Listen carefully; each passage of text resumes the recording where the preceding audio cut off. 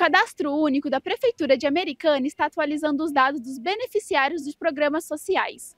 O objetivo é fazer a revisão das informações para a garantia dos direitos dos cidadãos, evitando que benefícios sejam suspensos. Ah, o município mantém uma central de cadastro único localizada ali na rua Dom Pedro II, número 275, no centro da cidade. As pessoas podem procurar nossa sede do cadastro único ou fazer o agendamento via WhatsApp, que é o mais simples hoje, no número 23 e 20, 25 21 que vai aparecer aí para vocês. É, também pode procurar os nossos CRAS espalhados por toda a cidade, né, dentro dos territórios de maior vulnerabilidade social, onde também é realizado o agendamento. A atualização precisa ser feita a cada dois anos, requisito importante para a manutenção, por exemplo, do BPC, que é o benefício da prestação continuada. A atualização cadastral é um processo contínuo, depende do benefício que a pessoa tá, está usufruindo.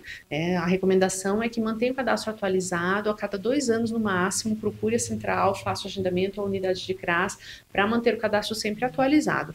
Em relação ao benefício de prestação continuada, o BPC, no município está estabelecido pelo governo federal prazo de 90 dias. Então, o beneficiário tem 90 dias a partir do, da notificação recebida pelo Ministério. As informações atualizadas e processadas ajudam a promover a inclusão das famílias de baixa renda para que tenham acesso aos programas. Os documentos básicos, CPF, RG, título de eleitor, comprovante de residência, carteira de trabalho. E se na moradia residir mais pessoas, das pessoas também todas têm que levar o mesmo tipo de documentação de todos os, os residentes no domicílio.